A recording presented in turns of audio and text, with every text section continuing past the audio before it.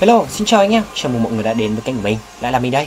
Hôm nay mình sẽ quay trở lại với mọi người để hướng dẫn cho mọi người cái cách có thể chiến thắng được con game tài xỉu này bằng công thức tốt nhất và mới nhất của mình hiện tại. Ok, công thức này ngày hôm qua mình đã, cũng đã hướng dẫn anh em rồi. Là công thức bắt cầu bằng cái số cái đầu phiên và tầm món xính ngầu Và cũng rất là nhiều anh em có hỏi mình là công thức này liệu là mọi người có thể ờ, uh, vát sang con game khác chơi được không? Ờ, Đấy, không phải chơi cái con game sở cái bài được không?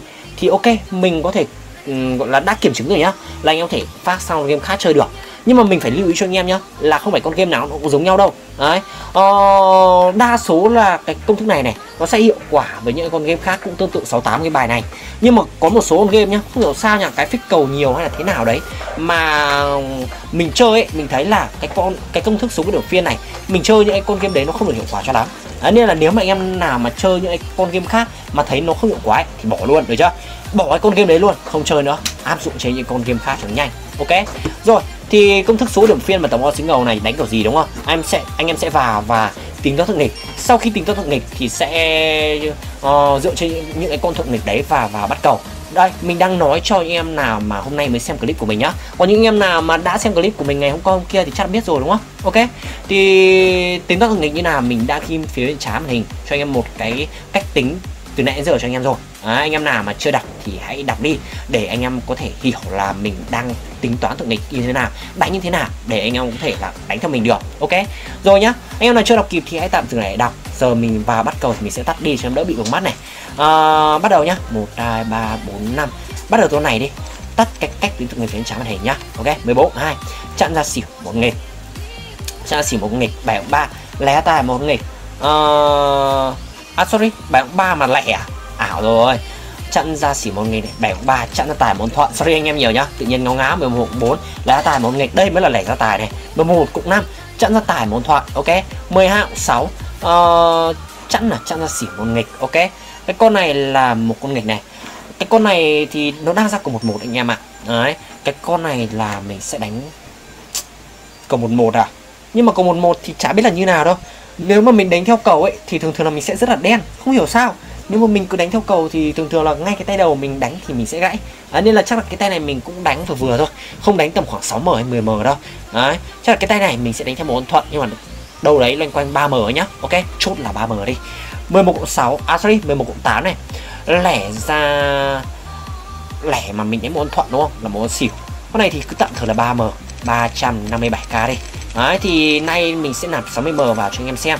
Một cái số vốn cũng lâu lắm rồi mình mới chơi nha bạn. Đấy lâu lắm rồi mình mới chơi và hình như là trước quay em bằng cái số vốn này bao giờ mình chỉ đánh một mình thôi. Đấy nhưng mà nay là cảm giác là cũng khá là may mắn Khi mà chơi bằng cái số vốn này. Anh em Ơ chết rồi.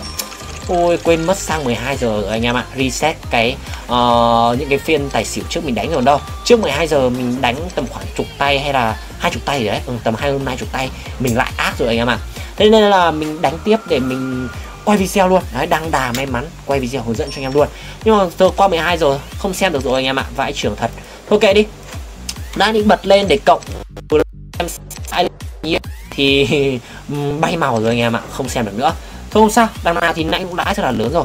Cộng uh, ờ, lãi bao nhiêu thì tí nữa mình kiểm tra cái số dư được mình biết mà. Ok nhá. Thì mình sẽ vào và tập trung hướng dẫn anh em đi. Đấy, anh em thấy không? Ngay con đầu tiên nó gãy cầu mình nói có thiêng không? Không phải là mình thiêng mà mình cảm giác là như thế nhá một cái cầu mà nó đang chạy đẹp đẹp chẳng hạn. Cứ vào mình cứ vào một cái là y như rằng nó các anh em ạ.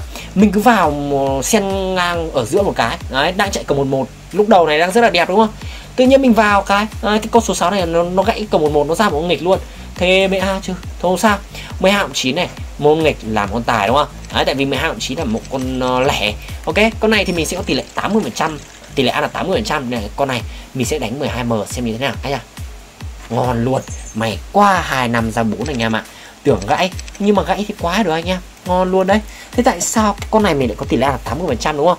Không phải tự nhiên mình chế ra và mình tự nhiên đánh thế này đâu. Như anh em thấy rồi lúc đầu mình đánh rất là cẩn thận đúng không? Mình gọi là đánh theo kiểu là con nào tỷ lệ ăn to con nào tỷ lệ ăn lớn thì mình mới đánh lớn. Còn con nào tỷ lệ ăn nhỏ ấy, thì tất nhiên là mình sẽ đánh bé thôi không bao đời nào mình mình lại đánh ngược lại, đúng không? Đấy. Nên là cái con số 6 này, mình bảo với anh em rồi là tỷ lệ ăn của mình thấp. Mình đánh có 3M thôi, loanh quanh 5% vốn thôi. Nhưng mà con này, mình đánh tận 12M tại vì là sau một mùa này thì thường thường nó sẽ có tỷ lệ bẻ về những loại cầu như cầu 33 cầu 321 hoặc cầu chuỗi. Ba loại cầu đấy nó sẽ có tỷ lệ ra cao nhất, được chưa? Nên là cái con số 7 này, mình sẽ có tỷ lệ ăn một con nghịch là 80 phần trăm. Ba con đấy nó đều chỉ ra là một con nghịch mà. Ok. Đấy ờ, nên là cái con này mình đánh một con nghịch tỷ lệ ăn là 80 phần trăm thôi. Cực kỳ ngon anh em ạ. Đây con số 9 à sorry con số 8 11 cũng không. Một con nghịch cả là một con tài. Ok nhá mình sẽ đánh là một con tài đi. Ờ, mà đợi mình một chút nhá. Nặn phát ra xem xong là mình sẽ làm miếng nước cho nó đỡ khô hẳn cái. Bỏ qua anh em ạ.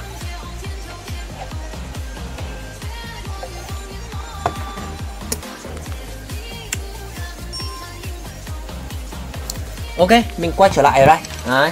Thế con vừa rồi cái con vừa rồi là mình đã đánh ra cái con này là con gì đây? 11 cộng 0 này. Lẻ ra tài là một nghịch. Ok 11 cộng 1 một con nghịch là một con xỉu. Cái con này mình sẽ có tỷ lệ ăn với tầm khoảng 90 đến 95 phần trăm nhá. Kết luận như thế luôn. Tại sao lại thế? Tại vì trên này nó ra bốn nghịch đúng không? Mà bốn nghịch như này thì nó đang có xu hướng là ra cầu chuỗi. Cầu chuỗi thì anh em cứ nhớ cho mình là thế này. Cầu chuỗi nhá. Thì ít nhất là nó phải là ra năm tay nghề hoặc năm tay thuận. Nên là anh em cứ nhớ là đến cái con thứ năm của cầu chuỗi thì anh em sẽ có tỷ lệ ăn cao nhất là 90 phần trăm được chưa? Con này là ra bốn con nghịch rồi. Thế con số 9 này mình sẽ có tỷ lệ ăn 90 phần trăm là ra một con nghịch tiếp. Đấy, nhưng mà tại sao mình lại bảo là tỷ lệ ăn lên đến là 95 phần trăm đúng không? Tại vì thế này đợi một chút mình sẽ vào nốt rồi mình sẽ giải thích chi tiết hơn cho anh em. Đấy con này mình sẽ có tỷ lệ ăn 90 phần trăm nên mình sẽ vào 21m 250 thôi. Ok rồi 21m ui sổ toàn thoát tim anh em ạ. Đánh một con tài thì nó ra nào là hai, năm, ra 4 này. Xong là ra, nói chung là ra 81 còn đánh một con xỉu thì nó ra xỉu 10 anh em ạ. Thoát tim phết. Nhưng mà cuối cùng là chiến thắng vẫn về mình thôi. Tại vì sao lại thế đúng không? Tại vì thế này. Theo cái công thức số điểm phiên và tổng con sinh ngầu thì con này mình có tỷ lệ ăn một con nghịch là 90 phần trăm đúng không? Đây, con số 9 và theo cái câu thần chú, nói theo cái mẹo của mình, lúc đầu mình đã sâu cái công thức số điểm phiên cho anh em đúng không? Ở trên là công thức số điểm phiên và ở dưới là cái câu thần chú hai con giống nhau định nhau, tỷ lệ bẻ với con ngược lại là 80 phần trăm. Con này trước bẻ con sau sẽ bẻ tỷ lệ 90 phần trăm anh em ạ. Đấy, còn theo cái mẹo đấy của mình thì mình sẽ tỷ lệ ăn 80 phần trăm là nó sẽ về một con xỉu. Cả hai công thức của mình nó đều chỉ ra một con xỉu, được chưa? Một công thức 80 một công thức 90 trăm tỷ lệ ăn. Thế là hai công thức nó đều chỉ ra một con xỉu như thế nên là nó ít nhất cũng phải lên được 95 trăm tỷ lệ ăn anh em ạ.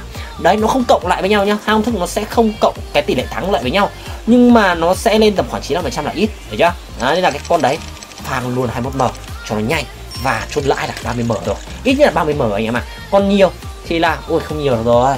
Thôi kệ đi coi như là của thêm trả địa thôi. Coi như là trả lại nhà cái là một m 4 Đấy, con này đang đánh theo cầu đang đánh theo là cầu chuỗi. Nhưng mà cái cái rớp của mình cái số đen của mình thì nó vẫn cứ gãy cầu thôi không sao cái quan trọng là con uh, uh, tỷ lệ ăn cao nhất 90 trăm nó không gãy được đúng không? Ok thế thôi nhá đến đây thôi. Anh em nào mà có câu hỏi gì nữa hãy comment phía dưới cho mình biết. Mình sẽ lên video hướng dẫn cho anh em nhé bye bye hẹn lại mọi người cứ lần sau